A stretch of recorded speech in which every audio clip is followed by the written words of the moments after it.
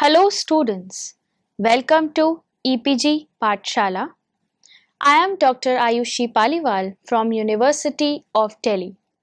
So students, today we are going to discuss about the module Creep of Ceramics from the paper Ceramics.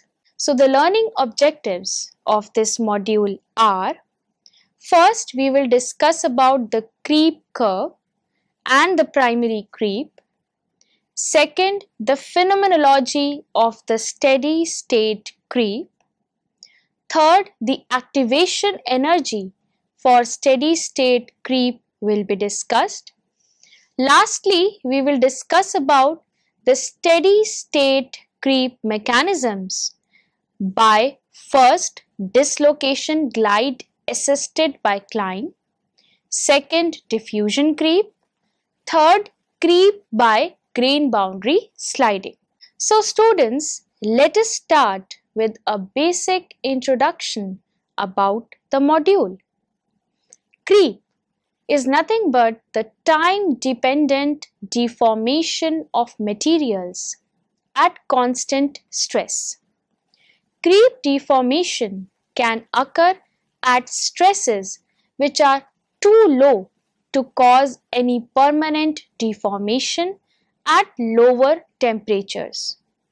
It is found that the creep occurs when T is greater than 0.3 Tm for metals and T is greater than 0.4 to 0.5 Tm for ceramics, where T is the temperature and Tm is the melting point.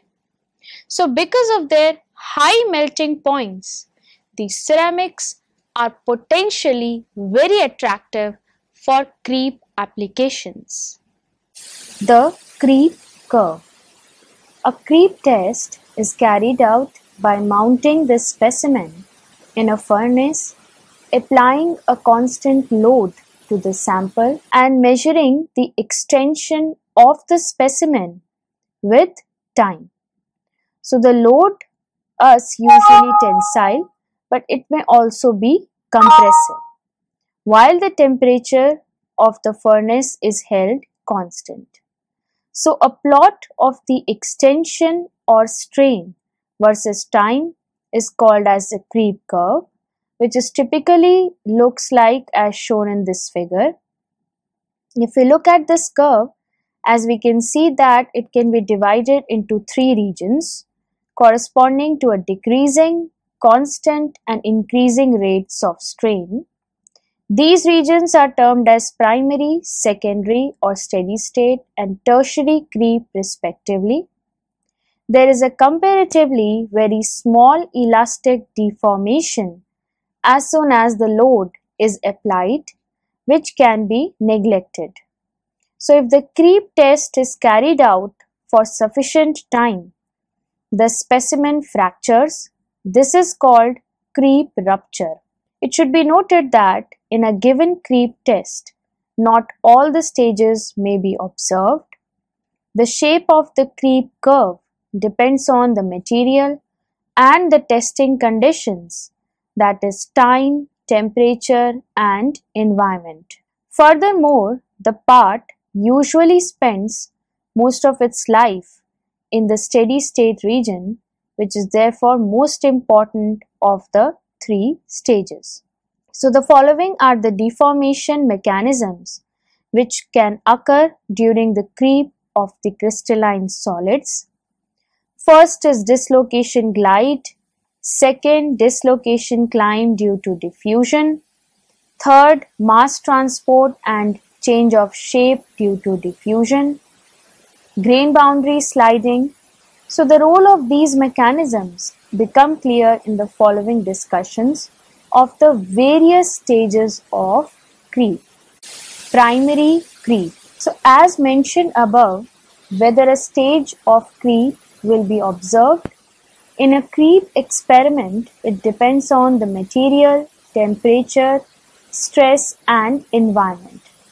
So the primary creep may be observed in some materials at low temperatures and low stresses. In primary creep, the creep rate decreases with time. So at any point, the creep rate is the net result of the rate of recovery and the rate of hardening. If the former is lower, then the creep rate will decrease with time. It has been proposed that in primary creep, the strain producing events gradually gets exhausted so that the strain rate decreases. An example of the exhaustion of the strain producing event is the stoppage of a dislocation at an obstacle. However, there are views that such a picture of the primary creep is not correct.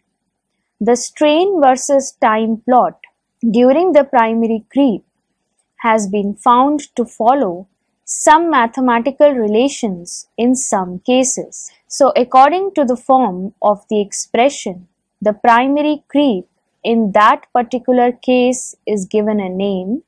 Two of these expressions and the corresponding names are epsilon equal to alpha ln t that is logarithmic creep, epsilon equal to beta t to the power 1 by 3 that is parabolic creep. Let us now discuss the steady state creep. The longest stage, most of the useful life spent in the steady state stage.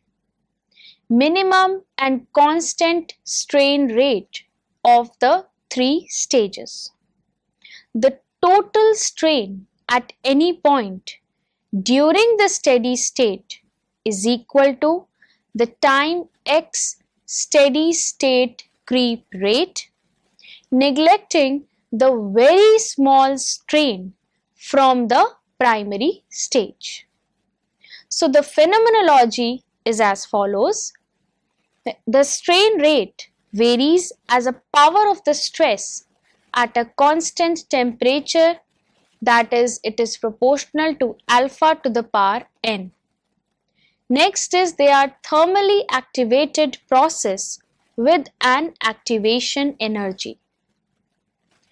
Now the two can be combined to yield epsilon prime equal to A multiplied by sigma to the power n exponential minus delta Hc by RT. So the activation energy for creep that is delta Hc is found to be equal to that for the self diffusion delta Hd. So this figure shows the phenomenology of the steady state creep. The various phenomenological relations in the steady state creep are as follows.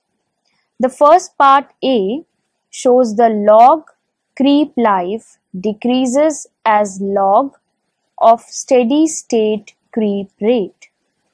The second part B shows the log of the steady state creep rate is directly proportional to the log of the applied stress.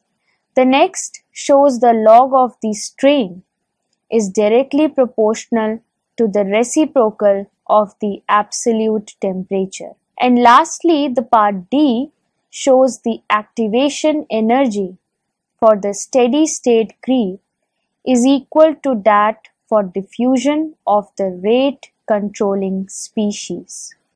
Activation energy for steady state creep. In order to determine the activation energy for creep, it is necessary to measure the strain rate at two different temperatures. However, the structure of the specimen also changes with time at a temperature. So the challenge is to measure the creep rate at two different temperatures with the specimen having nearly the same structure. This is done using a method first suggested by Dorn. The creep rate is measured at a certain temperature T1. The temperature is then quickly changed to the second temperature T2. and the creep rate measured again before any significant changes in the structure occurs. So it can be shown that the activation energy for creep is then given by delta Hc equal to R multiplied by ln of epsilon 1 prime divided by epsilon 2 prime the whole divided by 1 by T1 minus 1 by T2. So it is observed that the activation energy for creep is equal to that for self-diffusion for pure metals and that for the solute, solute in dilute alloys which implies that the diffusion is the rate controlling process in the steady state creep. Steady state creep mechanisms. So first we will discuss the dislocation glide assisted by climb.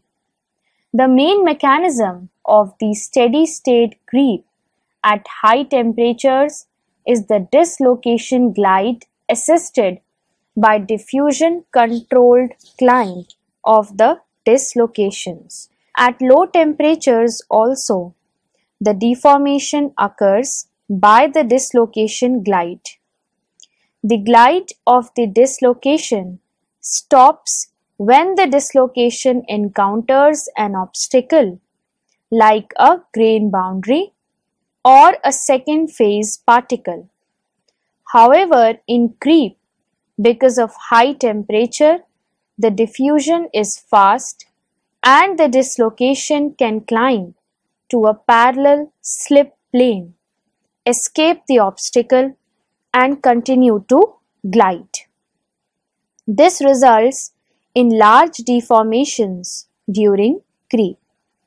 So this figure shows the escape of the gliding dislocation by climb.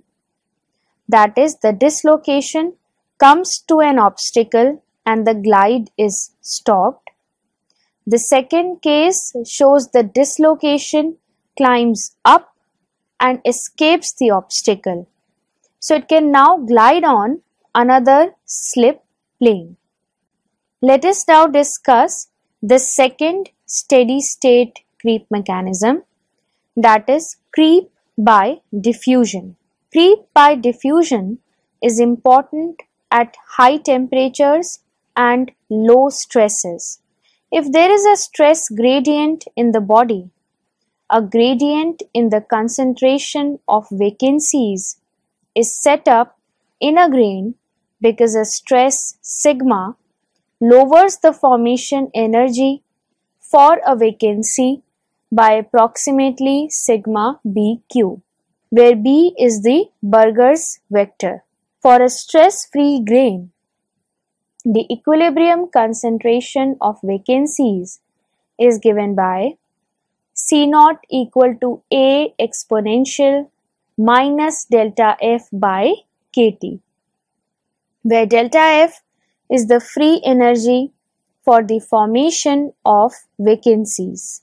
So for a grain under the stress as shown in this figure, this changes the concentration of vacancies at the faces AD and BC to C naught equal to A multiplied by exponential minus of delta F minus sigma B cube by KT.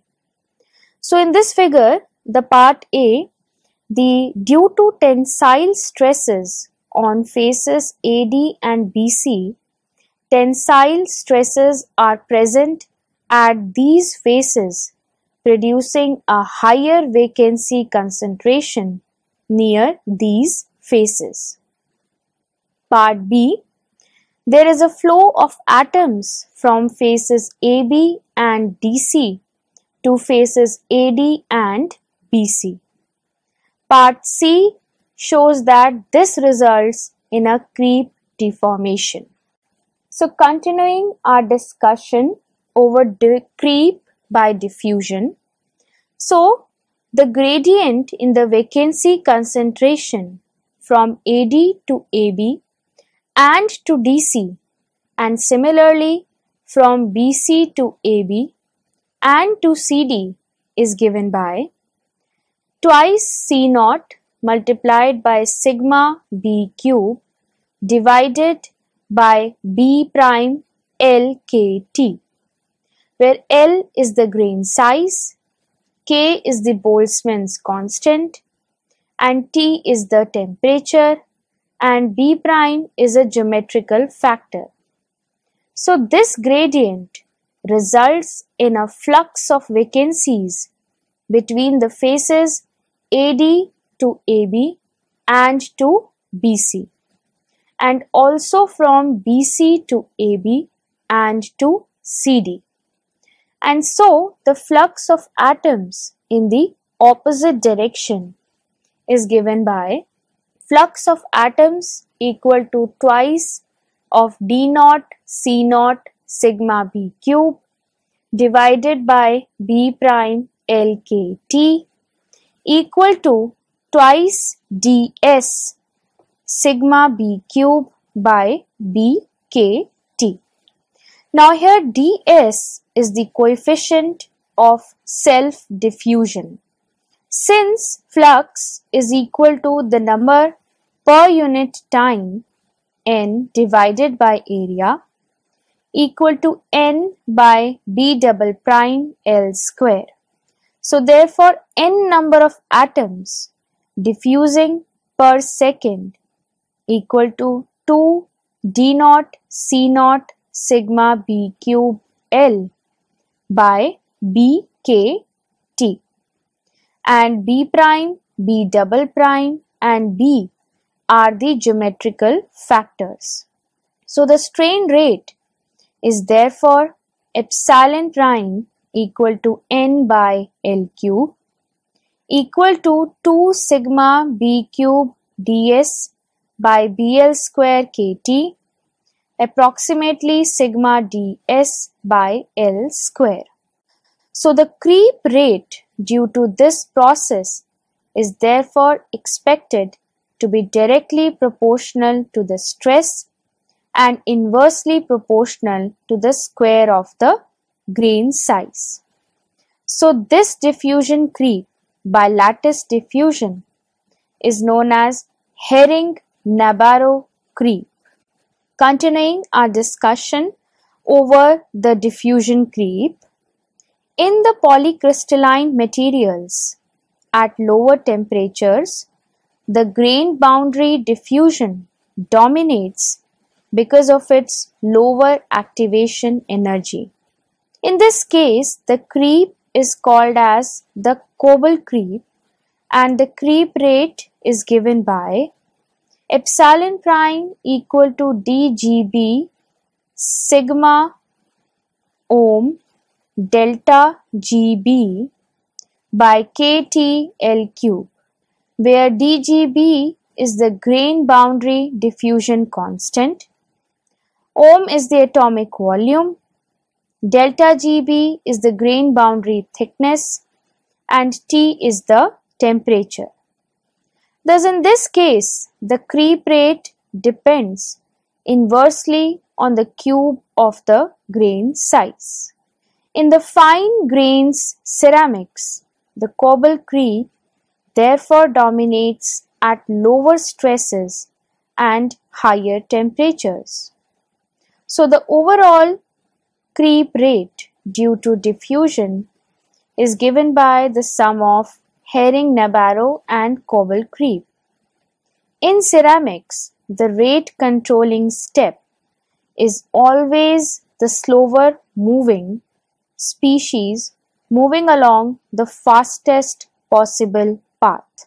So students, let us now discuss the steady state creep mechanism that is creep by grain boundary sliding. Many ceramics contains a glassy phase at the grain boundaries. So viscosity of the glassy phase decreases drastically at the high temperature present during creep. So the first case is that the amount of glassy phase is high. So here the system can be considered as the grains of ceramics floating in the glass. The effective viscosity of the whole system is lowered and it is given by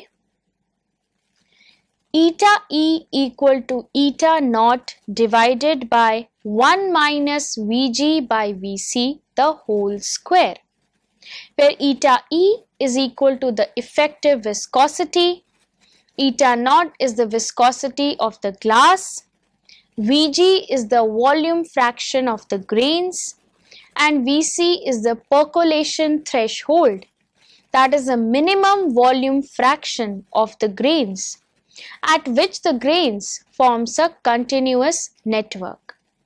Now here the creep rate is simply given by the relation epsilon prime equal to sigma by eta E. Steady state creep mechanisms that is by creep by grain boundary sliding continued. So the case 2 that is the amount of glassy phase is small. Now here several mechanisms are proposed. One mechanism is the squeezing of the liquid glass from the boundaries under compression and flowing to those under tension. So in this case, the creep rate is given by epsilon equal to alpha dot w to the power 3 multiplied by sigma divided by eta naught dq where w is the thickness of the glassy phase and d is the grain size. So steady state creep that is by combining the expression all the creep mechanisms described above can be described by a single expression as follows that is epsilon prime is equal to ADGB divided by kt multiplied by b by d to the power 3 multiplied by sigma by g to the power 3.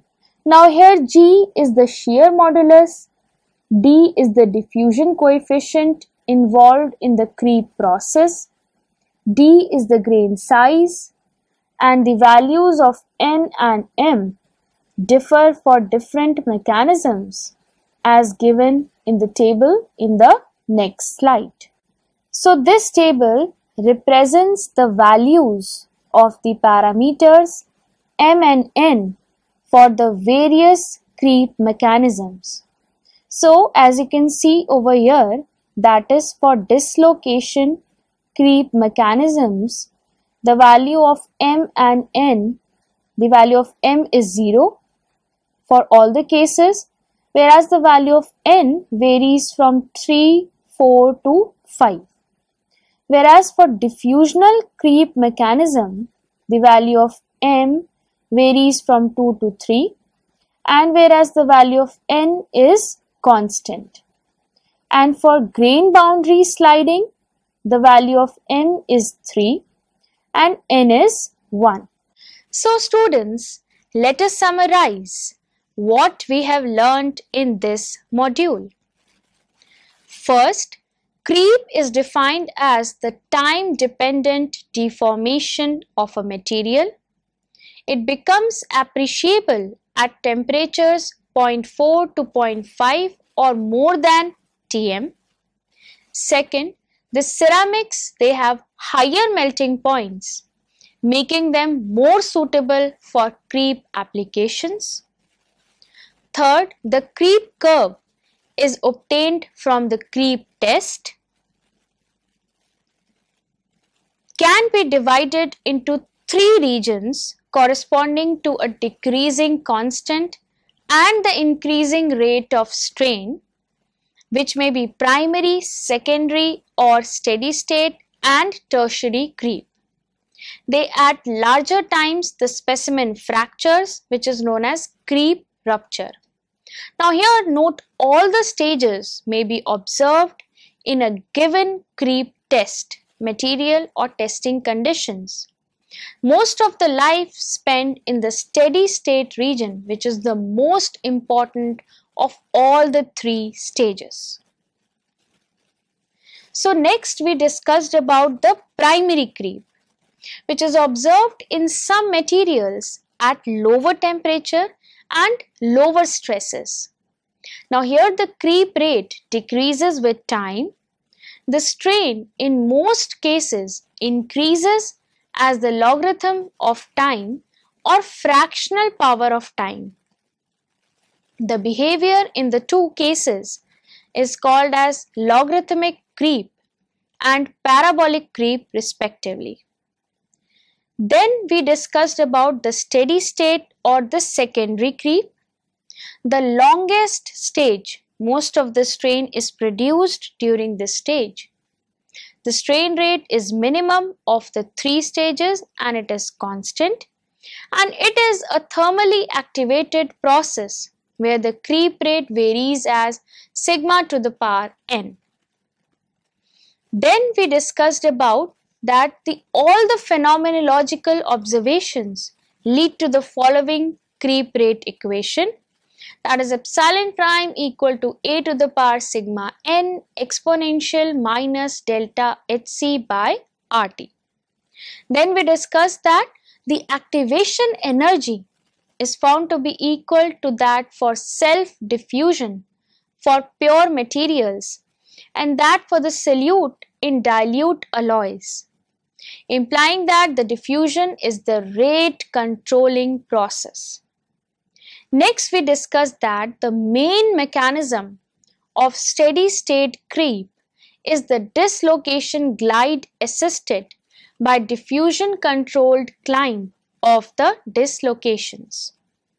Then we discussed that two other mechanisms are diffusion creep and grain boundary sliding. Then we discussed that the creep by diffusion is important at higher temperatures and lower stresses. Then after this, the gradient of stress has been discussed which is in a body produces a gradient in the vacancy concentration leading to diffusion of atoms from the location at smaller stresses than at higher stresses. After this, we discussed that when the diffusion is by lattice diffusion, the creep is called as the Herring-Nabarro creep. If the diffusion is via the grain boundaries, then it is called as Coble creep. So the creep due to grain boundary sliding occurs in the ceramics due to the presence of a glassy phase in many ceramics. So at higher temperature, the glassy phase has low viscosity and the system as a whole has lower overall viscosity if the fraction of the glassy phase is larger. In the other case, a squeezing of the liquid glass from the boundaries under compression and flowing to those under tension occurs leading to creep. Then we discussed that the creeping rate during the steady state creep can be expressed by a single expression containing the diffusion coefficient, the temperature, the stress and the grain size. Thank you.